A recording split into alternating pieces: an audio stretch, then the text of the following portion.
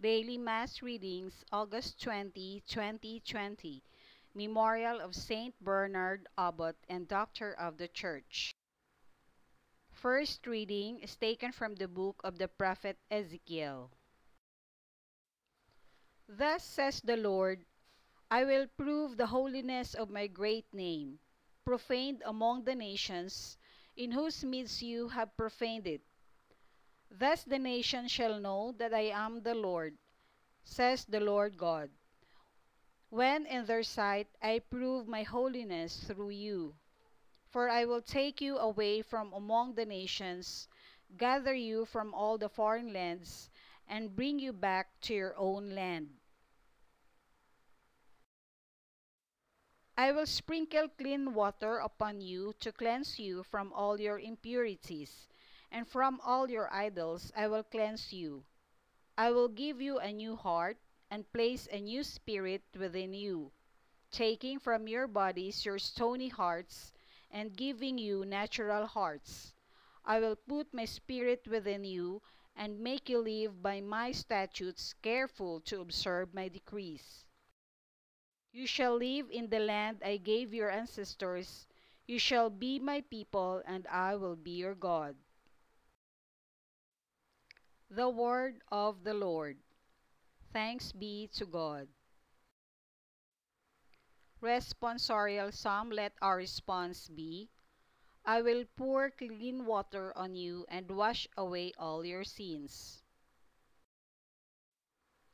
A clean heart create for me, O God, and a steadfast spirit renew within me. Cast me not out from your presence, and your Holy Spirit take not from me. I will pour clean water on you and wash away all your sins. Give me back the joy of your salvation, and the willing spirit sustain in me. I will teach transgressors your ways, and sinners shall return to you. I will pour clean water on you and wash away all your sins. For you are not pleased with sacrifices, should I offer a burnt offering. You would not accept it. My sacrifice, O God, is a contrite spirit, a heart contrite and humbled, O God. You will not spurn. I will pour clean water on you and wash away all your sins.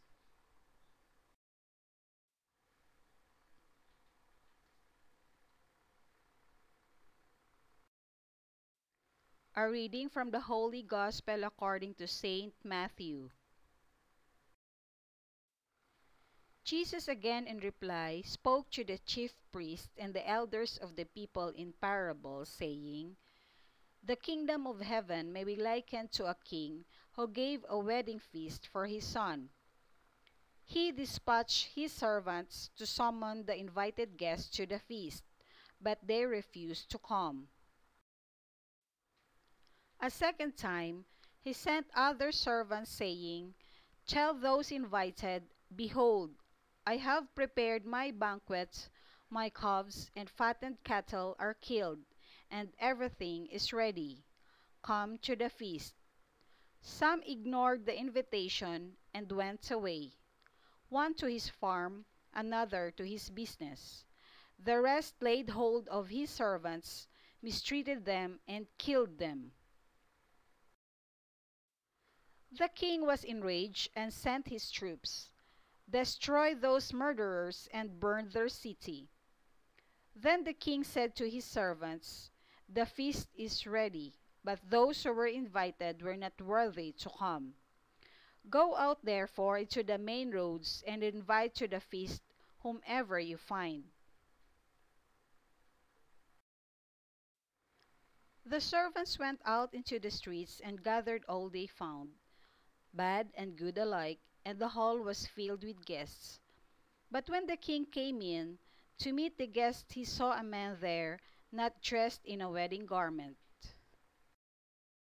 He said to him, My friend, how is it that you came in here without a wedding garment?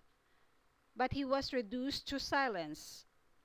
Then the king said to his attendants, Bind his hands and feet and cast him into the darkness outside, where there will be wailing and grinding of teeth.